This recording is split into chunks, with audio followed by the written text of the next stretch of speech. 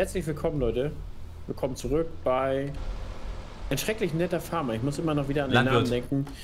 Ein schrecklich netter Landwirt, danke Tino. Ähm, hier bei Loelo TV, einmal hier und auf der anderen Seite der gute Tino McManus, auf der anderen Seite Jawohl. sein Kanal hauptsächlich Gaming, Simulatoren und GTA. Ähm, Und Link und- findet ihr unten in der Beschreibung. Und ab und zu mal bei so einem einen oder anderen verrückten Landwirt auch mal privat. Genau, Real Life. Mich findet ihr auf meinem Kanal Landwirt in MV. Ich bin ja auch nur zu Gast äh, von dem Kanal meiner Frau und meines Schwagers. Ansonsten, wir haben in der letzten Folge behandelt Rübenroden. Wir haben in der ersten Folge behandelt, wie fangen wir an. In der zweiten Folge ging es, wie machen wir weiter. Schön zusammengefasst. Wie fangen wir an? Äh, wie hören wir auf? Wie machen wir weiter? Ja, so ungefähr. ja, genau. Ich glaube, haben wir schön, haben wir schön zusammengefasst. Ja, genau. Perfekt. Jetzt haben wir hier die Rüben sozusagen auf die Miete geschmissen. Das ist in der Realität auch gängige Praxis. Warum? Weil man die Logistik dann entkoppelt von der Ernte. Also ihr könnt euch das vorstellen, bei mir in der Region da eine Rübenmaus und keine Ahnung 20, 30 LKWs fahren dann dazu. Und wenn jetzt der Rübenroder kaputt geht, ja, was machen wir denn? Du Dann meinst stehen die da 30 Rübenmaus oder der Roder? der Roder, genau. Wenn, wenn der Rübenroder kaputt geht, was machen wir denn? Dann stehen da 30 LKWs und warten, dass der Roder wieder heil ist. Deswegen werden Rübenfelder im Vorfeld abgeerntet. Ja. Also viel, viel früher. Und dann wird das hier so auf der Miete gelegt. Wenn der Abtransport später liegt, also Dezember, Januar, wird das Ganze auch entsprechend mit einem Vlies zugedeckt. Ich würde gerade sagen, gell, das sieht man nämlich auch öfters dicker mal. weißer Mull, der das Ganze vor Frost schützt. Frost würde natürlich die Zellen in der Rübe aufplatzen lassen, Wasser tritt aus und sie würde relativ zügig anfangen zu faulen. Danke. Äh, danke. Ja, das war mein Vortrag. Ach so, das war's schon. Oder Ja. hast du heute aber nicht viel Redezeit beansprucht? Ne, 2.30. Leute, wir sehen uns in der nächsten Folge wieder. Ja. Bis dann, ciao, ciao. Genau, hier sehen wir noch mal ein paar Rüben. Oh, ai, Äh, ai, kleiner ai, ai. Fun Fact, man, man fährt nicht vor oder zurück, man dreht den Arm. Wie meinst du das? Ja, du kannst doch hier hinten das Förderband drehen. Nein, nein, nein, ich, äh, der nimmt nicht bis runter auf den Boden auf. Das ist gerade so mein Problem. Weil du zu schnell gefahren bist, oder?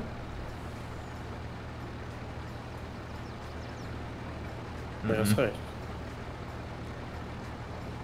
Fahr mal ein bisschen dichter, vielleicht muss das ein bisschen höher springen. Ja, warum? Eieieiei. Haben wir einen Bug und einen Fehler gefunden? Ja, ja.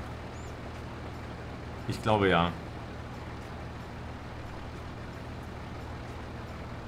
Oder? Dass du es irgendwie mit der Maus noch tiefer machen kannst, so geht auch nicht, ne? Nee. Äh, warte oder, mal kurz. Oder musst, musst du das mit dem Schieber ranholen, aber dafür ist der Schieber nicht da.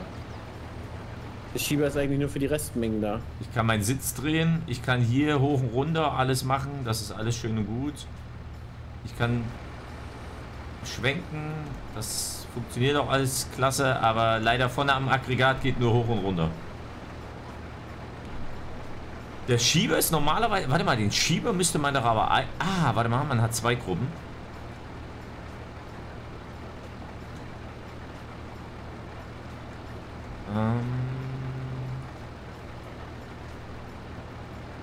Aber, hm.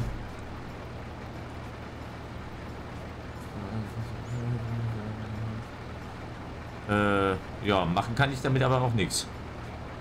Außer, dass ich den halt eben bedienen kann. Ne, seitlich. Hoch, runter. Ja, genau, in der Realität ist ja auch nur für die Restmengen da, ne? Dass Ja. man sich den, den Rest, den kleinen Haufen da reinschiebt. Du kannst Ärgerlich, gerne auch mal probieren, Hannes. Setz dich rein. Gleich, nö, du, du wirst das schon können. Da muss Tino halt gleich Radlader fahren und die Restmengen noch aufladen. Holt mal einen Radlader, genau. Das wäre nämlich tatsächlich mal interessant, ob das dann funktioniert. Aber der nimmt nicht alles auf vom Boden. Genau. Das ist, also so funktioniert es halt auch in der Realität mit der Rübenmaus oder eine Alternative ist ein Radlader mit einem Ladeband. Warum muss das Ladeband dazwischen, damit die Rüben nochmal nachgereinigt werden? Da fällt nochmal extrem viel Erde ab. Wenn so eine, ich weiß nicht, was kriegt so eine Zuckerfabrik? Eine Million Tonnen bestimmt. Ähm, wenn da man noch ein bisschen Erde am Anhang hat, dann sind sicherlich tausende Tonnen Erde, die man hinterher in der Zuckerfabrik hat. Das möchte man natürlich vermeiden.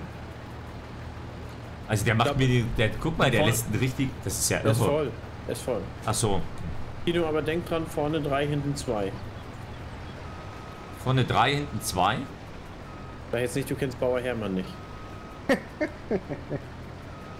Warte Hast mal. du, hast du noch nie. Oder hat er nicht? Weiß Bauer- nicht, aber das, das muss er sehen. Vorne drei, hinten zwei. Erklärt's mir kurz. Was ist das? Ist das ein Insider-Gag? Ja, ne, Bauer Hermann. Wer, Oh wer Gott, ist Leute, der? Der kennt, der kennt Bauer Hermann nicht. Schreibt mal in die Kommentare, Leute. Wer von euch kennt auch Bauer Hermann nicht? Das ist Pflichtlektüre für nächsten Montag auf deine Reaction. Bauer Hermann und das liebe Vieh. Ja. Bauer Du willst- Hermann und das liebe Vieh. Ist, Du ist, wirst Tränen lachen. ist, das, ist das so ein Typ wie hier der Dings hier, der, der, der mit den Schafen, der Schäfer Heinrich? Nee. Guck's dir an. Okay. Vor allen Dingen, ich weiß gar nicht, Leute, wie heißt der Bulle? Äh, wo das heißt, hier Bulle so und so. Sonst die Ruhe selbst, heute etwas aufgebracht. Alter, und wo er ihm volle Sau welche gegen, den, gegen das Bein Der, löscht. der. Bulle von Teutz? Äh, Tölz? Nee, nee, nee, nee, nee, nee, Nee. Tino, alles gut. Der Guck's macht, aber an. guck dir das mal an, Hannes, der baut eine Rampe. Der baut eine Rübenrampe. Ja, wir brauchen vielleicht gleich mal einen großen Radler, einen Turion oder sowas und schieben das mal kurz ein bisschen auf oder so. Kommt einer zufällig schon? Ja, ich glaube, weil du einfach zu schnell fährst. Ich fahre 1 km/h. das ist ja, viel ich zu schnell. äh, bin mehr oder weniger unterwegs. Was denkst du denn, wie schnell die das Ganze... Ja, weniger wie 1 km/h. Das ist ja alles schön und gut, aber ich kann weniger dosieren, geht nicht. Aber du siehst ja selbst, wenn ich hier diesen mache, Vielleicht musst du auch dein Schnäuzchen hier vorne ein bisschen aufgeregter wackeln lassen. ich mir wie Schwänzchen wedeln, sagst du. Ja. Vor Freude. Keine Genau, Chance, Hannes. Keine eine Chance. Rübenmaus ähm, reinigt natürlich auch noch mal ein bisschen die Rüben zwischen. Entsteigt natürlich nicht, aber ganz viel Erdanhang bleibt natürlich weg. Da, kommt, da geht nichts rein. Da geht gar Wo nichts ist der rein. Radlader? Den habe ich doch von schon Jetzt ein gesehen. bisschen was. Tino darf Ja, ich Radlader fahren. muss mal eben eine Rettungsaktion machen kurz. Nee, komm, wir brauchen die Radlader hier. Komm her. Komm her, mal, lass, jetzt- den, lass den LKW im Graben liegen. Wir brauchen Radlader. Jetzt. Ja, Radlader. Hier Genau. ist äh, Rüben, äh, Rübenrampe. Das ist unfassbar. Sowas habe ich noch nie gesehen. Das funktioniert einfach nicht, glaube ich.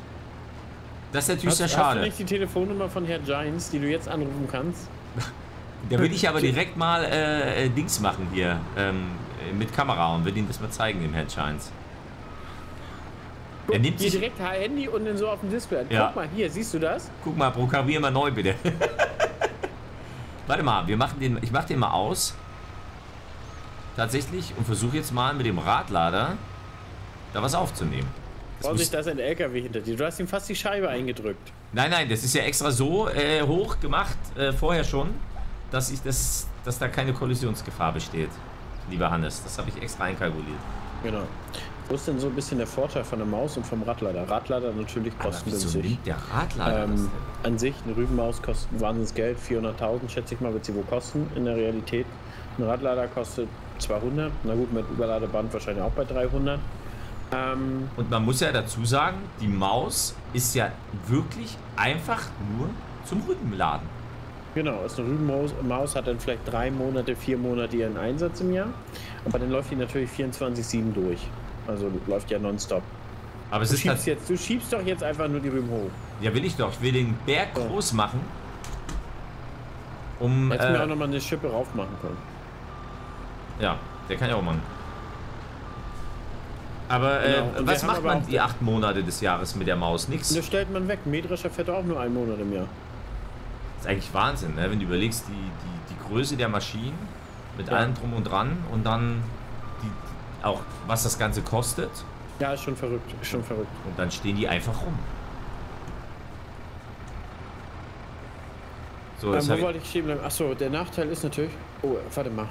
Oh, warte mal, ich habe ein Problem bei meiner Aufnahme. Ich habe nicht mehr genügend Speicherplatz. wie geht das denn bitte? Ah, Ich habe noch nichts. Ich habe nicht. Ich habe halt einen älteren Rechner. Musst du mal die XXX-Ordner äh, löschen. Äh, Tino, du hast eine Hochkippschaufel. Ich, hab- ja, das ist äh, tatsächlich richtig. Äh, Hannes, bist du voll? Warte mal. ja, Ruhig dich. alles klar, kein Problem. So, da sind wir wieder einmal kurz zurück. Ich, ich hatte keinen Speicherplatz mehr auf der Karte. So, jetzt geht's weiter. Tino hat mich beladen. Also, der Vorteil von der Rübenmaus, du hast halt viel weniger Überfahrten, ne? Guck mal, du musst ja jetzt für jede Schaufel da in den Berg fahren, rückwärts stoßen, seitlich fahren.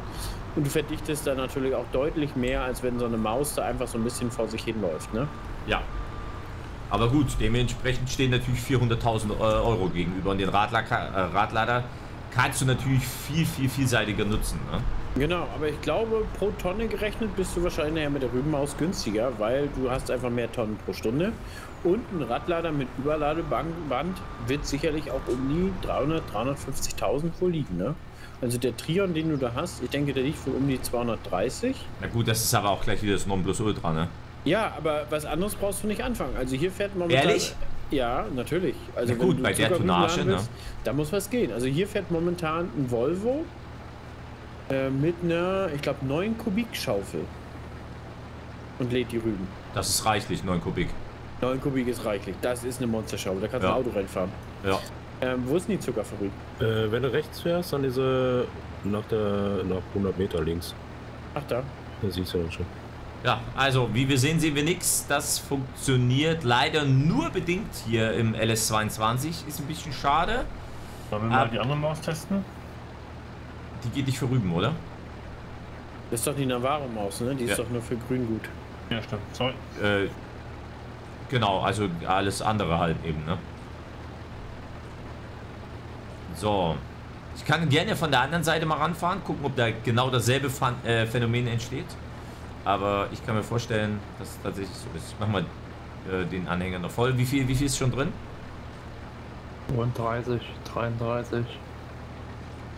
Aber der fährt jetzt hier schon wieder Keil hoch. Vielleicht kann ja jemand mit dem Radlader einfach mal äh, dann hier ein bisschen schieben. Da fahre ich erstmal auf die andere Seite. Weil das ist auch, das macht keinen Sinn so. Voll. Ah, du bist voll. Ja, Ja, sag das auch. der So. Vorsicht, waghalsiges Wendemanöver. Alles, du bist auf dem Weg in die Zuckerfabrik? Mhm. Sehr gut. Da laufen einfach die Rüben raus. Ja, ich kipp jetzt gerade hier ab. Mit was wird bei euch geladen? Mit der, mit der Maus? Beides. Also hier ist eine Speditionskette unterwegs mit äh, dem großen Volvo und einer hat eine Maus sich geholt. Also ein Lohner, der hier schon zwei große äh, Rübenroder hat und drei Transportholmer, hier diese ganz normalen, wo auch Gülle und Mistaufbau drauf gehen. Ja. Äh, der hat jetzt sich noch zusätzlich eine Rübenmaus geholt. Ah, okay. Wahnsinn. Ja, ist wirklich Wahnsinn. Was da an Geld ist, äh, gerade noch mit einem Rübenroder und und und. Du kannst übrigens das Förderband auf der anderen Seite, auf die andere Seite drehen, wenn ich mich nicht irre. Damit Äh, können die LKW auf dem Weg bleiben. Also ich bin fast der Meinung, man kann das drehen. Die haben keine feste Ladeseite. Ähm, ich glaube schon. Haben sie? Hm. Okay. Ja. Genau, im Hintergrund äh, seht ihr, haben wir schon gegrubbert. Und so funktioniert es meistens auch in der Realität. Das heißt, man macht schon alles soweit fertig, lässt ein Vorgewende so ein bisschen frei, wo halt die Rüben verladen werden und das wird hinterher gedrillt. Damit man doch den, den Zeit nicht verliert, weil Zeit ist wirklich Geld im Herbst. Und je früher man, ach guck mal, da kommt der Arm. Je früher man den Weizen dann im Herbst geht. reinbringt, desto höher sind auch die Erträge. Ne? Also da ist wirklich jeder Tag richtig Gold wert, Geld wert. Hast recht, Hannes.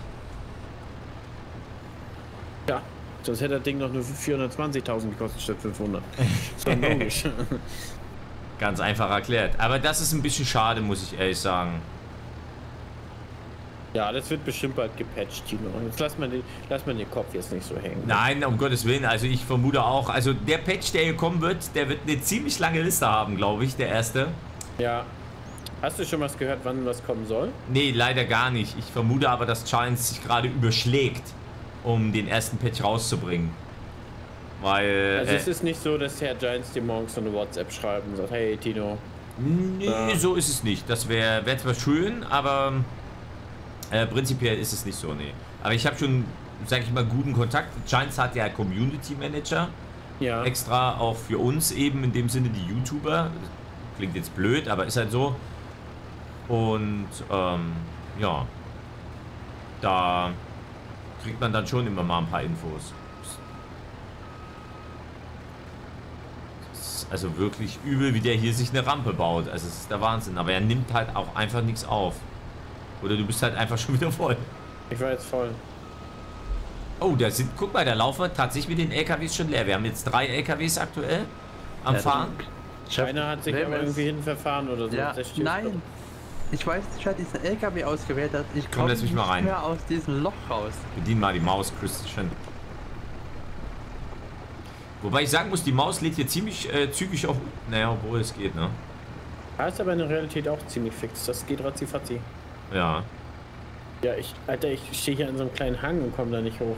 Was? Das sag ich ja, dieser LKW ist echt nicht cool. Neue Doch, Patch da Note, stand- neue nachher Patch hier Note nämlich erfasst. Alter, ich quäl mich hier gerade diesen Mini-Hügel hoch. Ich komme da kaum hoch, weil die Räder alle durchdrehen. Ja. Danke. Ah, jetzt ist er weg. Vielleicht funktioniert es aber auch einfach nur auf dem Server äh, gerade nicht so wie soll. Ich kann es euch nicht sagen. Also ob es jetzt am Multiplayer liegt, ob es ähm, generell ein Problem ist. Man weiß es nicht. Ja, was gibt sonst noch zu sagen zu Rüben Hannes? Was wird draus gemacht in der Zuckerfabrik? Zucker. Ganz normaler Industriezucker? Das ist normaler Industriezucker. Der weiße, den du am Ende kaufst. Das weiße Gift quasi, was uns so abhängig macht im Kopf. Genau, der wird, da, der wird da hergestellt und da produziert. Weißt du, wieso der Ertrag ist, äh, sag ich mal, Tonnage Zuckerrüben? Was kriegt man an Zucker da raus? Was passiert Ja, mit dem Abfall? So zwischen, zwischen 14 und 20 Prozent Zucker, die Rüben. Ah, okay. Das heißt, einige Betriebe schaffen 20 Tonnen Zucker, rein Zucker am Ende pro Hektar zu ernten. Okay, krass. Und, und äh, was passiert mit dem Rest? Äh, der Rest ist meistens Tierfutter. Oder geht in ne? Biogasanlage, ne? Wie Also sieht- es wie sieht's aus? Das sind so eine kleinen Schnitzel. Äh, ja, ja, ich, ähm, ich glaube, ich bin voll Mein, mein Nachbarbetrieb zum Beispiel, der hat's äh, auch. und komme nicht Äh, der, der, der bekommt da auch seine, seine 3000 Tonnen jedes Jahr und füttert ganzjährig dann dazu, ne? Macht damit ein Schlauchsilo, siliert das dann mit ein sozusagen. Das muss ja auch silieren, sonst ist es ja nicht konserviert. Wo ist denn die Fabrik, wenn ich fragen darf? Da drüben gleich Ach, schräg da, rüber. ja. Links, genau. Ähm, Hannes, Rübenschnitzel BGA. Genau. Das habe ich tatsächlich auch ein paar Jahre gemacht. Oh, ehrlich? Ja. Also Rüben zugekauft? Nee, ich habe tatsächlich Rüben angebaut. Ähm, dann musst du die ja im Prinzip waschen, damit du die in deine Biogas einsetzen kannst. Du hast zum einen Erdanhang, das ist nicht das schlimmste Problem, sondern die Steine. Ähm, gibt zwei verschiedene Verfahren. Entweder du nimmst eine Waschanlage für Rüben, die kommt dann, Habe ich schon mal ein Video gesehen. Tatsächlich. deine Rüben durch, genau. Ähm, oder es gibt ein Waschroder. Hatten wir zum Beispiel im letzten Jahr einen Waschbär. Der Aha. hat halt einen Wassertank und der wäscht schon beim Roden. Nachteil, der schafft halt kaum was. Vorteil, du hast alles mit einem Arbeitsgang fertig. Hm. Ähm, danach packst du die halt in Folie ein, machst luftdicht zu und dann silieren die auch, die ganzen Rüben. Die ganzen Rüben, Tino. Mhm. Ähm, und dann entnimmst du sie hinterher, wenn sie siliert sind und entnimmst, machst sie entweder in so eine Schnitzelschaufel, wie es aktuell im neuesten LS gibt, oder du kannst natürlich auch ähm, die pürieren mit einer Hammermühle oder so. So haben wir es gemacht. Wir hatten eine Hammermühle für unser Gras und da haben wir dann auch die Rüben püri- püriert, haben wir so ein Mousse gehabt und das hast du gefüttert. War mega, für die Anlage mega geil. Du Okay. brauchst es kaum noch, kaum noch rühren, weil es ja fast nur ein flüssiger Input ist, den du hast. Ne? Ja. Du hast ja kaum Zellmaterial an sich, ka- kaum hartes Zellmaterial.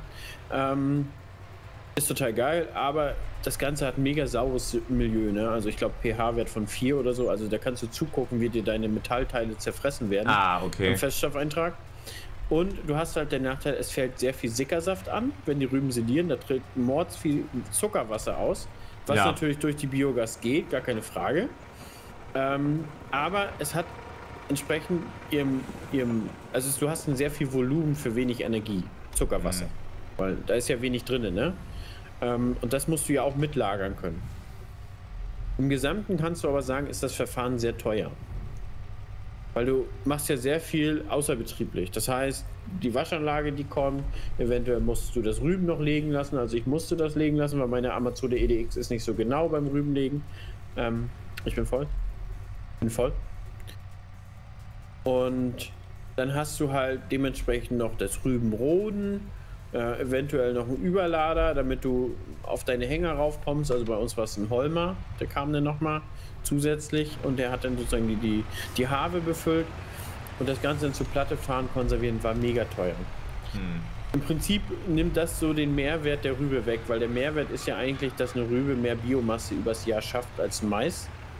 Weil, er ja, weil, weil sie ja einfach mehr Vegetationszeit hat. Ne? Sie kann ein bisschen früher in die Erde und wir hatten ja vorhin besprochen, ähm, wenn man sie im November, Dezember rodet, dann kann sie auch noch maximal die Wachstumstage mitnehmen. Also eine Biogasrübe kannst du easy Mitte, Ende November roden. Okay. Genau. Aber wie gesagt, das Verfahren ist sehr teuer. Also ich weiß, einige Biogasanlagen haben sich ein bisschen spezialisiert, sind weniger. Ähm, die waschen die Rüben und schreddern sie und pumpen die eventuell gleich in so eine Lagune rein. Hast du halt so einen Brei, so einen pumpfähigen Brei. Und der wird dann nach Bedarf in die Anlage reingepumpt. Das funktioniert sehr gut.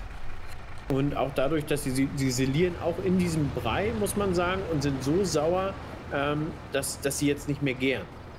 Das heißt, diese riesen Lagune, die fängt nicht an zu gären, sondern die ist so sauer und stabil, dass das konserviert ist. Mhm, okay. Genau, aber es, es ist ein schwieriges Thema. Also es ist für die Biogasanlage an sich total geil. Die Anlage fährt sich mega geil mit, mit Zuckerrübe, aber du hast so viele Nebendinge, die einfach so viel Geld kosten und wo du sagst, naja, machst du einfach 20 Hektar mehr Mais, hast einen eigenen Häcksler auf dem Hof oder so, hast alles in meinem Arbeitsgang fertig. Verstehst Ja, ja, du? ja, ja, ja, ja, klar. Der ganze extra Aufwand ist ja halt enorm. Aber macht es Sinn, die Rübenschnitz, also die vergorenen oder die, die Rohstoffe oder die Endstoffe aus der Komm mal her Zuckerfabrik hier mit zu dem Ding. nutzen? Ja, würde absolut Sinn machen, kommt aber auf den Preis an. Du hast ja letztendlich noch den Transportpreis und ich glaube, Ja. inzwischen ist das auch so begehrt, dass du auch für die Schnitzel an sich was bezahlen musst. Okay, Und ich glaube, das hebt dann auch den Mehreffekt auf. Okay, ja. Also quasi musst du fürs Abfallprodukt dann nochmal äh, Geld bezahlen. Genau, früher hast du das umsonst gekriegt oder für 1, 2 Euro. Echt? Da waren sie froh, dass das losgeworden ist. Na Ja. klar, haben wir da auch bei den Mastpolen eingesetzt. Aber dann kamen nachher die Biogasanlagen und und und. Ne? Und dann wurde es immer teurer. Und jetzt ist das so begehrt, jetzt musst du dich jetzt schon fürs nächste Jahr anmelden und so. Oh. Wahnsinn. Krass. Wir haben das früher auch immer als Tierfutter gekriegt und äh, in Silo geschmissen, abgedeckt und konntest das ganze Jahr verfüttern. Genau, ach, riecht auch total geil. War halt ein saugünstiges Futter, ne? In dem Sinne. Ja. Genau. Ja, und super schmackhaft. Also die Rinder mögen das total gerne. Gut. Alles, ich würde sagen, wir haben hier äh, ein paar Rüben doch vom Feld bekommen, oder? Genau. Einige LKWs sind runter. Äh, deswegen würden wir uns erstmal verabschieden. Das war's erstmal mit unserer Rübenaktion. Mal gucken, was als nächstes ansteht. Wie gesagt, ihr seid auch immer gefragt in den Kommentaren. Schreibt gerne rein, was wollt ihr sehen, auf was habt ihr Bock. Und äh, ja, wir sind raus. Lasst das Däumchen da. Tschüss und ciao. Bis zum nächsten Mal. Ciao, ciao.